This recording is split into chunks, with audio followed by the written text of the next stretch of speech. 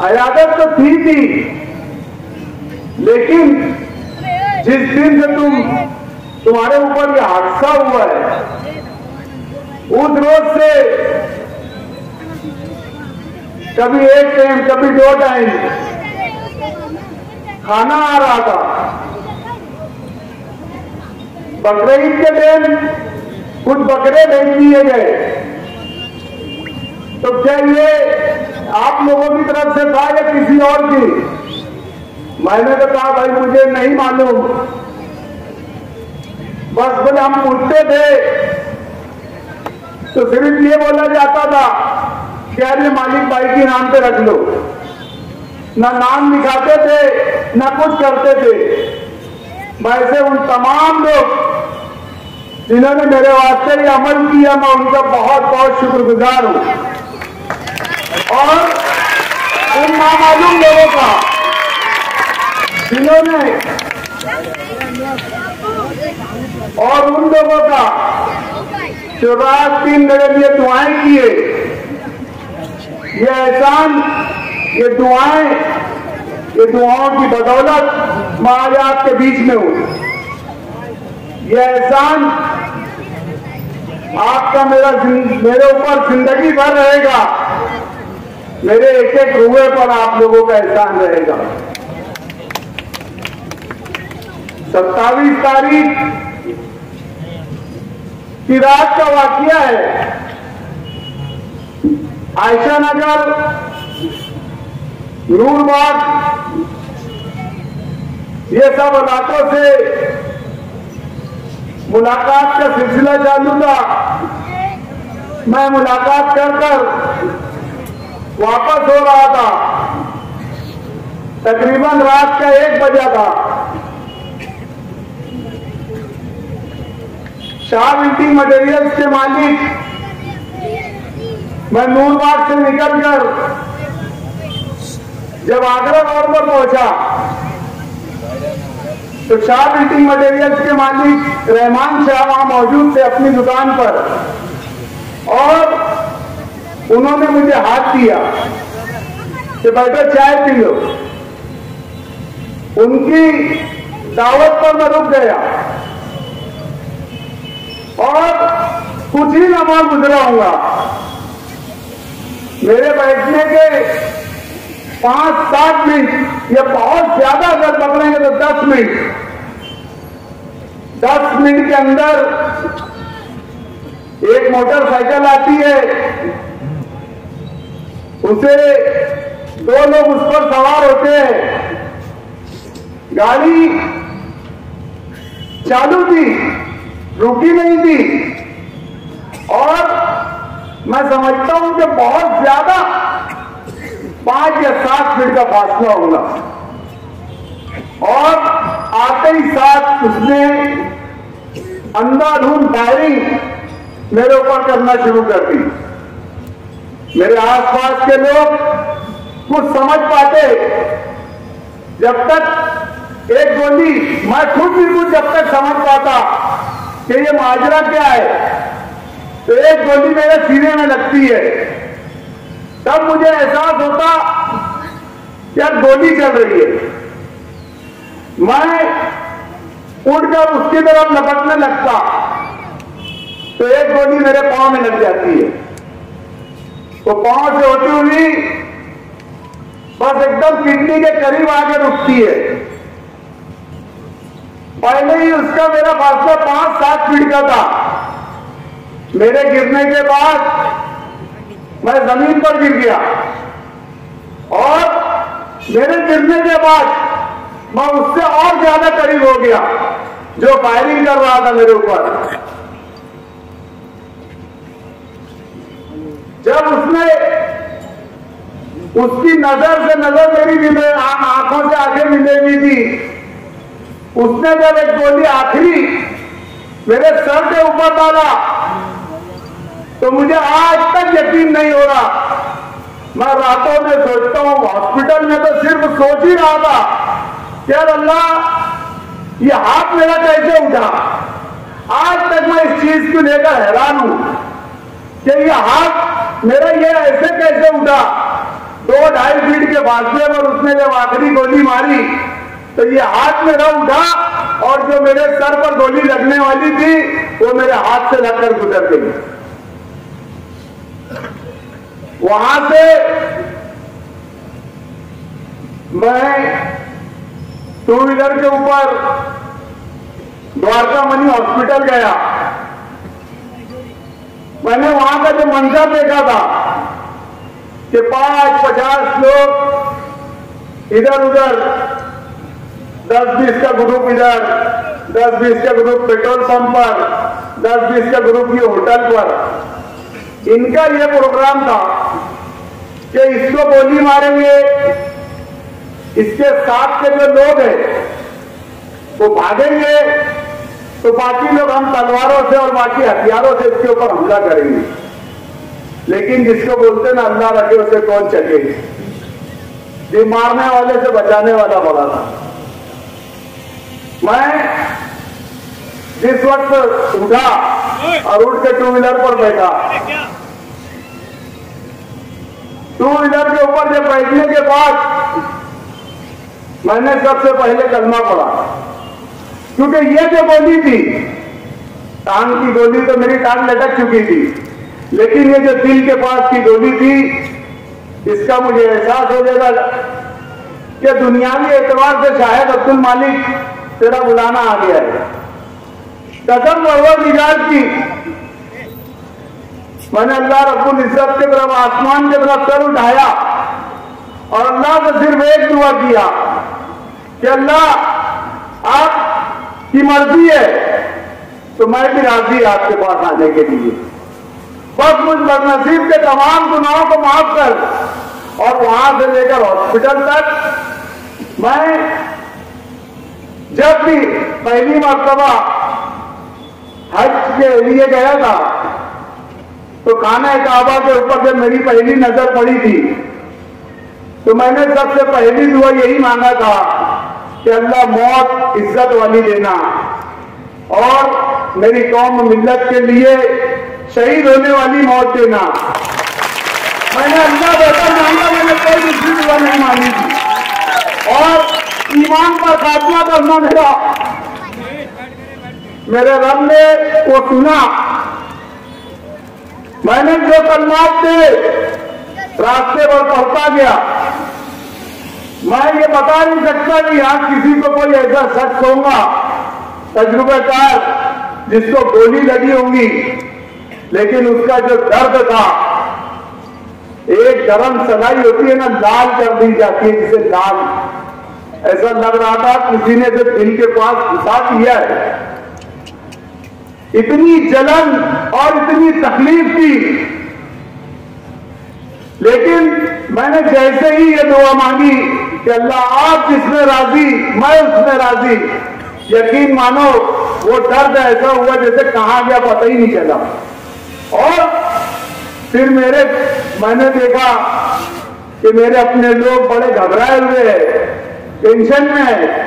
मेरे बच्चे, मेरे भाई, मेरे भतीजे, मेरे भांजे, मेरे शहर के लोग।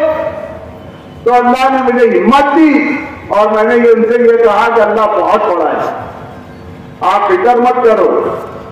ये सिर्फ़ उस वक्त ये हिम्मत देने का इतनी तकलीफ़ में हिम्मत देने का मकसद सिर्फ़ ये था कि जो लोगों ने ये हरकत की है, कहीं मेरे शहर के नौजवान गुस्से में आकर कुछ गलत कदम ना उठा ले। तो मैंने बजाय उनको ये ज़ाहिर किया कि अलहमदिल्ला मैं बहुत अच्छा हूँ। वहाँ से मुझे सिटी स्कीम के लिए लेके गया, फिर अचानक क्या डिसीज़न हुआ, फैसला हुआ, गोली मेरी कहा थी, क्या थी, वो तो मुझे नहीं बताया जा रहा था। नासिक लेके चले गए मुझे। नासिक के अंदर दूसरे दिन जब मेरा ऑपरेशन शुरू था ऑपरेशन के बाद ऑपरेशन वगैरह कामयाब हो गया। अभी गोलियाँ निकली भी नहीं थी मेरे सीने से। मेरे जिस्म से गोलियाँ निकली भी नहीं थी।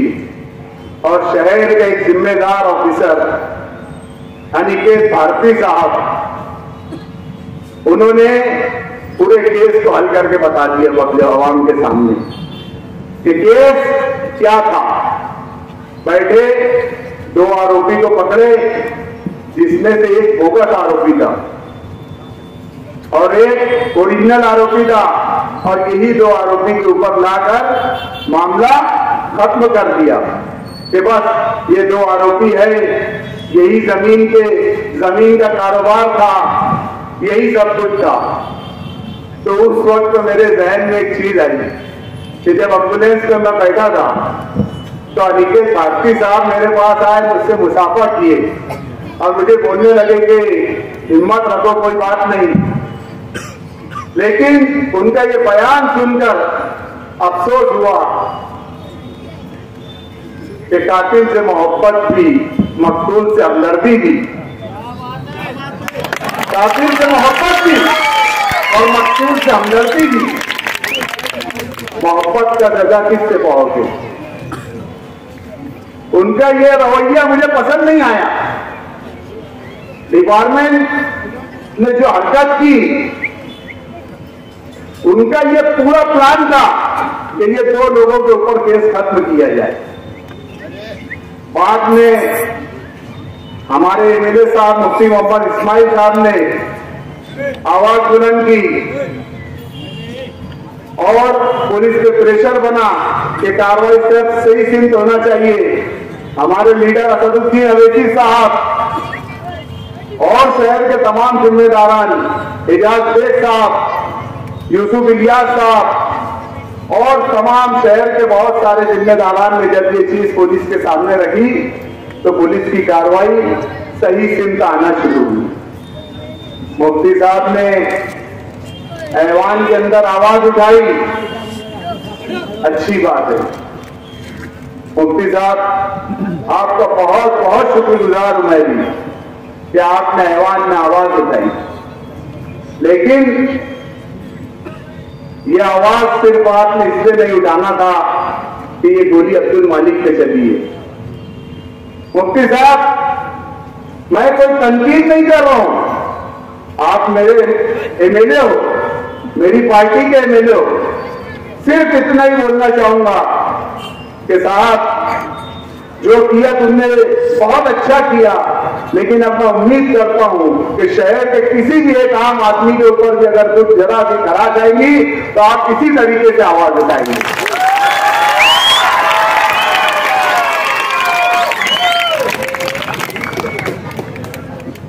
शहर, जैसे कि मैंने बताया कि अनिकेत भारती साहब ने पूरी जाँच का रूप ही बदल दिया।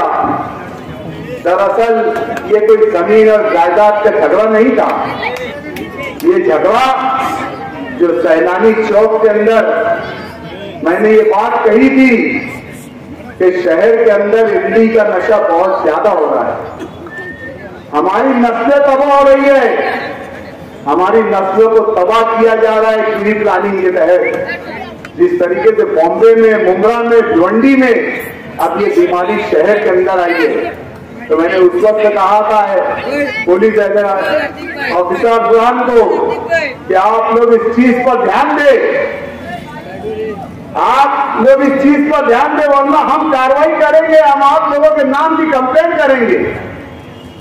और मैंने दबे मुझे अल्फाज में, या साफ़ साफ़ अल्फाज में कहा था कि सियासी घराना है, जो ये नशे का धंधा शहर के अंदर बहुत बड़े पैमाने पर करवा रहा है और शहर को नशे का आदि बनवा रहा है। शहर के बच्चों को नवी नस्लों को नशा करवाकर जुर्म करवा रहा है। तो ये बात कहीं ना कहीं उन हराम खोरों को जाकर लगी। जो ये बात कहते हैं कि फला जगह नेपाल में क्या बोलते कसीनो पसीनो, ये, वो, इतना शरीर बन रहा जैसे अपनी काबा से आए जिनकी पैदाइश, जिनकी बुनियाद हराम थोड़ी ज़रूरी है, वो ऐसी बात कर रहे हैं।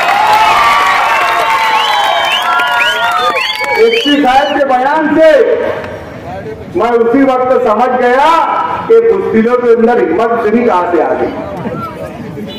नहीं तो झगड़ा तो उन्नीस सौ बयानवे, चौरानवे से चल रहा था ना। इनके अंदर ये पुस्तिकों के अंदर। अबे गोली अब्दुल मालिक को लगी। चालीस चालीस पुलिस आसिफ शेख रशीद के घर पे बैठे। वाह डॉक्टर खालिद ने हत्या घूम रहा। अब्दुल माजिद परेशान हाल घूम रहा। तुमको कोई फ़िक्र नहीं। मैं मरा पड़ा हूँ मुझे नासिक ले जाया जा रहा है डॉक्टर खालिद ने बोला, क्या कम से कम उसको बंदोबस्त दो। ये हमें बंदोबस्त नहीं दिए। इन्होंने कहा बंदोबस्त दिए?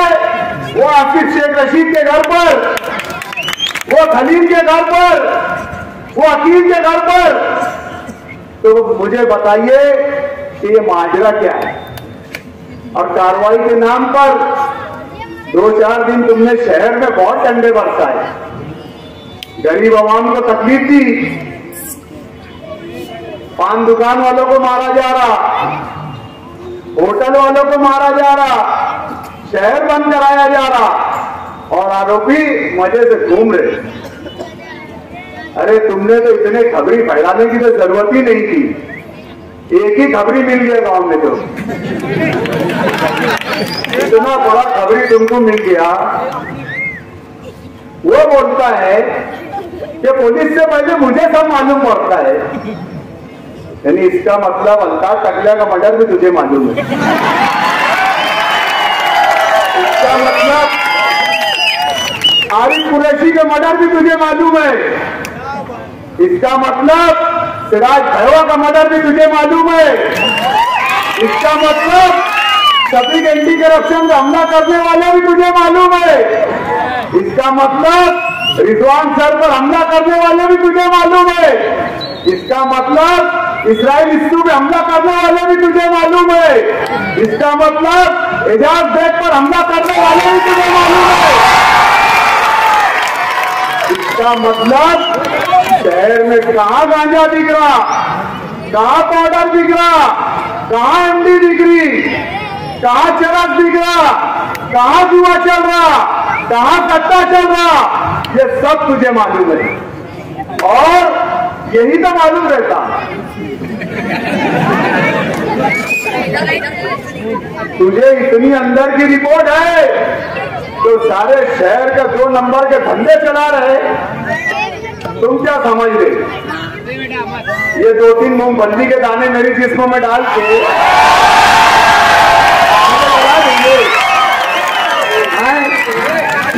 मुझे डराएँगे। अरे यूनुस ईसा खानदान के अंदर जुल्म के खिलाफ और डर नाम की डिक्शनरी में चीज़ ही नहीं है। हमको डरा रहे ये दो चार मूंगफली के दाने। अबे, हमारा ईमान है। अबे लिखी है, मरेंगे। तेरे जैसे बीस बीस, पच्चीस पच्चीस लेके नहीं घूम रहा। आज आज बोल रहा मैं, अभी सिर्फ़ पैर नहीं टिक रही। हिम्मत टिक रही है। पैर नहीं टिक रहे। कुछ दिन में वो भी टिकेंगे इंशाल्लाह ये मत समझना कि मैं घर के दबक के बैठ जाऊँगा। मेरे शहर को तुम नुकसान पहुंचाओगे। मेरी नस्लों को तुम नुकसान पहुंचाएँगे। मेरी कौम को तुम नुकसान पहुंचाओगे। याद रखना, अब्दुल मालिक को जो नवी ज़िंदगी मिली है, आज इस स्टेज पे मेरे वालिद भी मौजूद है। आज इस स्टेज पे मेरे भाई भी मौजूद है। आज इस स्टेज पे मेरे बच्चे भी मौजूद है। आज स्टेज पे और इस समाज पे पूरे मेरे खानदान के लोग भी मौजूद है। मैं उनके सामने ये बात कर रहा हूँ कि अब मुझे जो ज़िंदगी मिली है, ये अल्लाह ने मुझे जो नवी ज़िंदगी दी है, ये आप लोगों की दुआओं की बदौलत है। और इंशाअल्लाह नजीम मैं आज से अब्दुल मालिक अपनी ज़िंदगी को मालेगांव शहर के लिए, मालेगांव की आवाज़ के लिए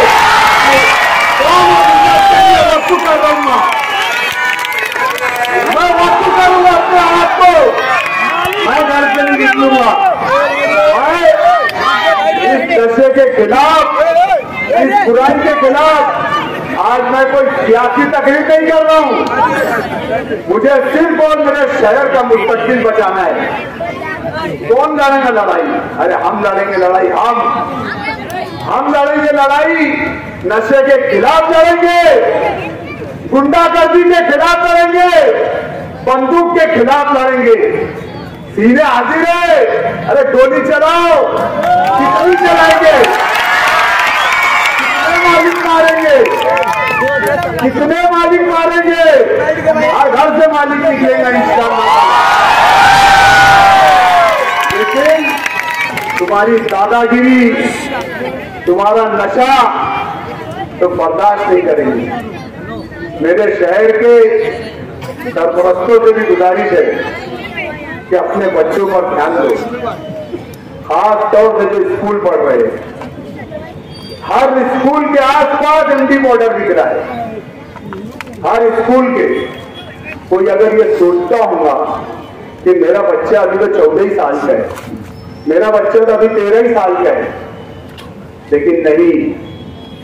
इन हराम खोरों ने प्लानिंग के साथ हमारी नस्लों के अंदर नशा घोल दिया मैं कोई सियासी तकरीर नहीं कर रहा हूँ।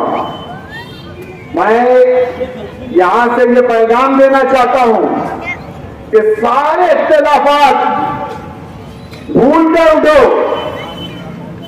न तकनी, न मोमी, न अंसारी, न शिया, न सुन्नी, न देवबंदी हमें इस मिल्लत के लिए लड़ना है। कोई लड़े या ना लड़े, मैं हर हाल में ये लड़ाई लड़ूँगा। शहर के सरपंच अपने बच्चों पर ध्यान दे। ये पहले उन्हें फुकड़ में देकर आदत लगा रहे हैं। फिर वही बच्चे घर में चोरी कर रहे हैं। फिर वही बच्चे साइकिलें चुरा रहे हैं। फिर वही बच्चे मोटरसाइकिल चुरा रहे हैं। इन लोगों ने एक प्लानिंग के तहत पक्के इलाकों को छोड़ो, कच्चे इलाकों में भी टारगेट किया और हमारे डिपार्टमेंट तो इतनी भारी है कि पान की दुकान से एक विमल की पूरी खरीदने वाले को पकड़ लेते और शहर में ना हिंदी मिल रहा है इनको, ना गांजा मिल रहा, वारे पुलिस दोहरा रूप बहुत अच्छे।